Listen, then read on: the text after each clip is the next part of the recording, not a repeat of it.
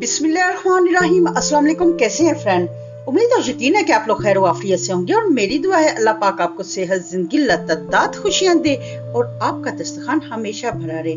Friends आज Sobi Sobi kitchen में बनने जा रही हैं बहुत ही मज़े की आलू की टिक्की। आप इसे पोटैटो कटलस भी कह सकते हैं, आलू की टिक्की भी कह सकते हैं।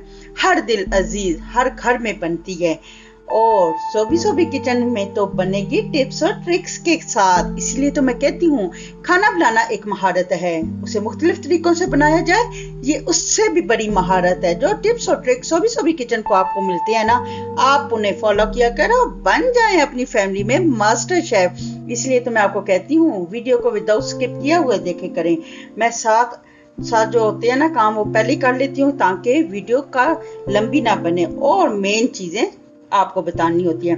फ्रेंड्स आधा किलो के जितने मैंने आलू को बॉईल करके ना, उन्हें पोटैटो मैशर से मैश करके ना, किया मैंने ये है कि इसे आधे घंटे के लिए फ्रिज में रख दिया है। ये देखिए, जब हम आलू मैश करते हैं ना, वो ऐसे लिक्विड से होती हैं। ये देखिए, इतने सख्त है ना। और ये सख्त या फ्रिज में रखने की वजह ये, इससे ना जो आलू की टिक्की या पोटैटो कटलेस होते हैं ना, वो क्रिस्पी बनती हैं। और उसके लिए जो चीज़ें चाहिए, ये आलू की टिक्की बनेगी कुछ स्पेशल इसलिए धनिया धो के मैंने काट लिया है ना, आप दो चम्मच ले लें। भुना हुआ, पिसा हुआ सफ़ेद जीरा एक चम्मच, नमक एक चम्मच, अपने टेस्ट के मुताबिक भी ले सकते हैं। आमचूर आधी चम्मच, अगर आपके पास अमचूर पाउडर है तो वो डालें, जिसे बाज लोग खटाई पाउडर भी कहते हैं। अगर आपके पास नहीं है तो फ्रेश लेमन जूस डाल। लें सब्ज मिर्चें, ये मैंने तीन से चार अदद है ना, जो बारीक काट ली है ना, मैंने इसलिए ये काटी है, ज़्यादा डाली है ना, मैं इसमें सुरख मिर्च नहीं इस्तेमाल करूँगी।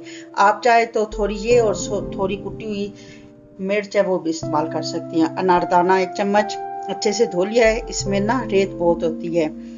सब्ज प्याज का सब्ज वाला हिस्सा, वो मैंने लिया है।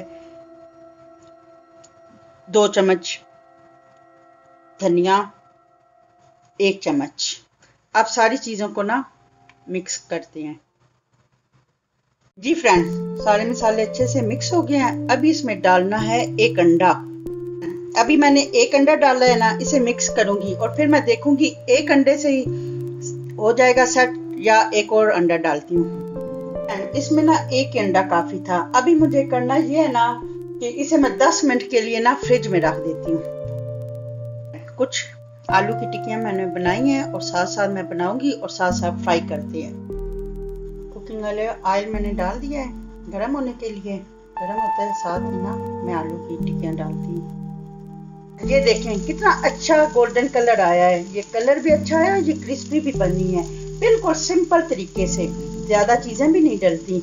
और ये आप देखें, आप इस तरह ज़रूर बनाएँ।